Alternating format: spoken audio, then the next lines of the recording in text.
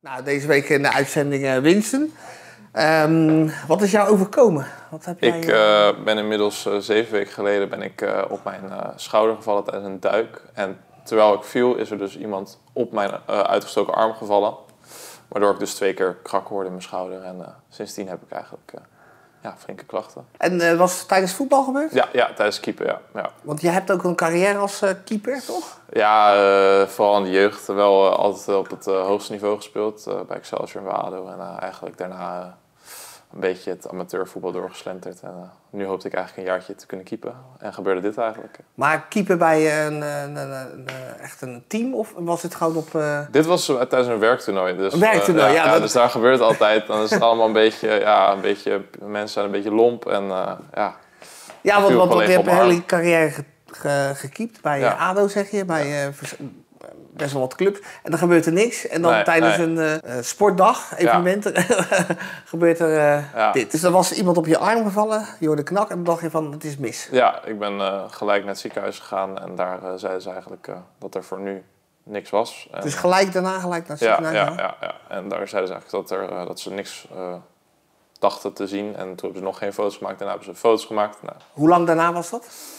Denk twee weken of een week daarna heb ik foto's gemaakt. En uh, ja, daar zag je wel degelijk dat hij wat hoger stond. Maar je zag niet per se dat er, ja, dat, uh, ik weet niet precies hoe die botten heten, maar die er leek, uh, had een normaal aspect. Dus ze zeiden eigenlijk van, joh, het is, het is prima het zo. Het is normaal. Het is normaal. Dus, maar je bleef klachten houden Ja, ja. Wat voelde jij dan? Ja, vooral een soort van, in de beweging voelde ik eigenlijk ja, geremd. Dus ik kon bepaalde bewegingen maken. Ik kon niet boven 90 graden komen. En uh, als ik kracht erop moest zetten, ging het ook pijn doen. Als ik moest ging tillen, ging het pijn doen. Dat, dat gaat nu wel beter, maar het is vooral de beweging waar ik me gewoon echt geremd in voel. Dus, uh, dus dingen uit de kast pakken, ja, verpalen in dagelijks ja. leven. Of uh, harenkam of iets boven de 90 graden. Dat je zegt van, ik voel hem. Ja. verder nog onderzoeken gedaan? Um, ik heb wel eens een echo gemaakt, maar die was eigenlijk gelijk op het begin. En tijdens die echo kwam er eigenlijk uit dat er wat letsel zat. Dus dat was natuurlijk gewoon van de klap dat ik uh, toen wat letsel had. En uh, daarna heb ik eigenlijk niet meer uh, wat gedaan. Oké, dus nee, ik ga kijken van... je zegt een, een, een, een, val met uitgestrekte armen. wat je daarvan zou kunnen krijgen is dat schade kan ontstaan bij het AC-gewricht en het SC-gewricht. En dat de schade kan ontstaan uit ligamentjes die op rek komen, eventueel scheuren. Dan ga ik kijken van uh, wat is de stand van uh, ja, je clavicula, je sleutelbeen. En dan gaan we bewegingsonderzoek doen om te kijken van uh, of er bepaalde delen wegdraaien, die horen weg te draaien. Of, of er schade is. Ja. En wat jij aangeeft gewoon van ik voel hier pijn waar dat door kan ontstaan. En eventueel spieren eromheen die op het schouderblad liggen, daarboven, of die gespannen zijn. En, spieren hier die uh, de, het thoracale ritme, dus uh, het wegglijden van je schouderblad, die dat bepalen. Of, dat die, uh, daar spanning voel. Ja. Of ik dat voor je kan verbeteren. Okay. Ja, goed idee? Ja, ik hoop het, ja. Oké, okay, we gaan nu even kijken van, je gaf aan, ehm, ik voel hem tijdens bewegen. Dus mag je deze beweging doen, duimen naar buiten. En mag je hem zo, dan zie ik al, dan zie ik al van oké, okay. die doet niet, niet zo lekker mee. Nee. Nee, mag je hem weer uh, laten zakken. Handen naast je op deze manier en je duimen vooruit. En dan mag je naast je oor brengen op die manier. Ja, maar je ziet ook wel dat je hem iets omhoog trekt en dat hij wat remt. En dan mag je proberen om, uh, doe maar weer terug hè. Om uh, die, je rechter hand tussen je schouderbladen te doen. Dat gaat. En nu met de andere kant. Dus zie je dat die daarin geremd wordt. En dan mag je je handen in de zij doen en proberen naar buiten te doen. Dat is een beweging die niet helemaal geremd wordt. Dat deze beweging tot de 90 graden, dat die hier echt eh, geremd wordt. In vergelijking met de andere kant. Dat hij hier wel kan doortrekken. Gelijk deze beweging testen. Duimen naar buiten. Yes. Dan wordt hij hier echt geremd. Dan kijk je naar het zicht. Je zegt, ik ben gevallen met gestrekte arm. Ik zie hier al um, dat deze normaal op de plek ligt. En dat het SC-gewricht wat gekanteld naar voren staat. En dat deze eigenlijk wat omhoog staat. Dat noemen ze ja, in ons eh, vak het eh, pianotoetsfenomeen. Dus dat die uh, sleutelbeen, clavicula, iets afstaat van het schoudergewricht.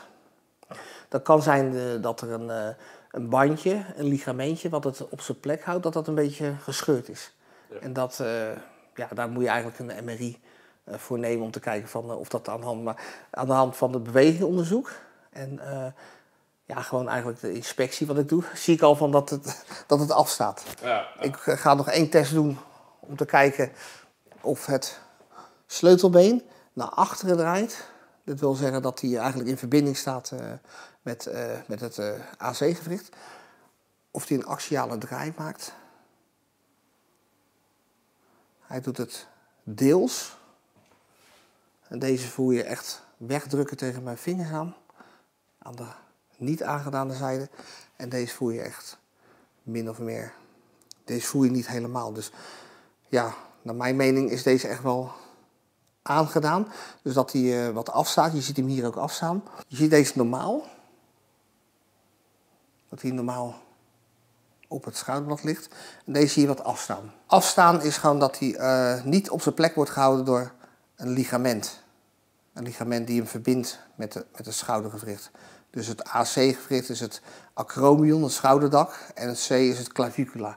En dat vormt samen het AC-gewricht hier. En dit is het SC-gewricht, het uh, sternum clavicula gewricht. En dan zie je uh, dat het clavicula iets afstaat uh, ten opzichte van de sternum. Als je hem vergelijkt met de andere kant. En wat is dan de normale behandeling van dit? Um, eigenlijk, nadat je gevallen was, had je hem twee weken in de sling moeten houden. Dat hij uh, tot rust komt. Daarna uh, kan je kijken van, uh, ja, is hij weer gezakt of, of, of, doet het minder pijn? Daarna ga je het activiteitenniveau ga je wat opbouwen. En dan ga je kijken naar bewegingen onder de 90 graden, of je hem daarin kan opbouwen. Dus circumductie, naar voren staan en dan deze bewegingen opgeleide van pijn ga je langzaam het activiteitenniveau ga je dus, uh, verhogen. Ook met stabiliteitsoefeningen, dus dat je AC-gewicht weer stabiel wordt. En dan ga je aan de hand uh, daarvan ga je wat oefentherapie doen. Uh, in combinatie met therapie, dat ik zorg dat die spanning die daar is komen te zitten, dat ik die eigenlijk reduceer. Dus laat afnemen. Op die manier. als ik nu bijvoorbeeld zou duiken aan mijn keeper, zou dat dan iets in gevaar kunnen brengen? Of is dat, Als het nog niet helemaal is wat het moet zijn. Dus je hebt geen sling gedragen, zie dat hij wat afstaat. Dus er moet nog wel wat stabiliteitsoefeningen gedaan worden. En wat uh, ja, actieve oefeningen om de, de spiercorset weer normaal te laten aanspannen. Dat zou ik eerst doen. Ja, en dan eigenlijk zeg je dus als je dat allemaal doet, dat hij vanzelf ook wat minder gaat afstaan en wat minder. Dat is wel waar je naartoe wil werken. Ja. Het is niet dat ik zeg dat het gaat gebeuren, maar dat is wel uh, het doel wat je wil behalen. We gaan verder, in dit geval. Dat, ik ga het weer oppikken met de actieve oefentherapie. Ja. En het weghalen van de spanning inmiddels van ja, hands-on therapie. Ja?